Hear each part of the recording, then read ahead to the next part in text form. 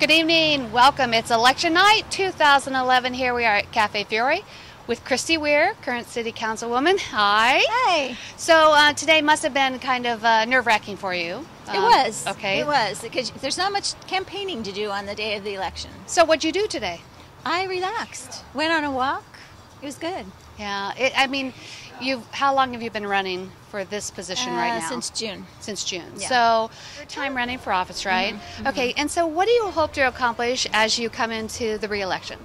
Well, the third term hopefully is going to see an upswing on the economy. I got to be mayor during the worst of the recession, which was challenging, and it's really uh, it's it's good to have I think strong, experienced leaders when you're in the middle of recession to know how to spend the limited money that a jurisdiction has.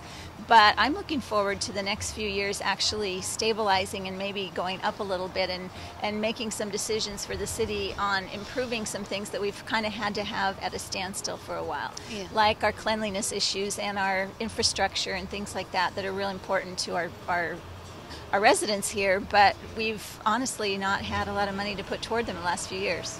Well, you know, Ventura is a really great place to live, Mm-hmm. and it's really fun to hang out at night. And um, so, what made you get into this public service and serve your community this way?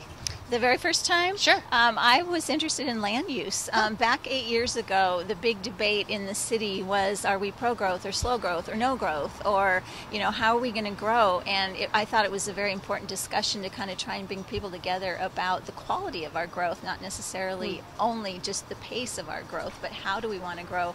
What type of housing developments do we want? Where do we want to build? And that was my uh, immediate interest at, at the very beginning. That's great. Well, listen, we thank you for the last eight years that you've served the city of Ventura. And we know that tonight's going to be very successful for you. And here we are at kadytv.com. Follow us online. Thanks for being here.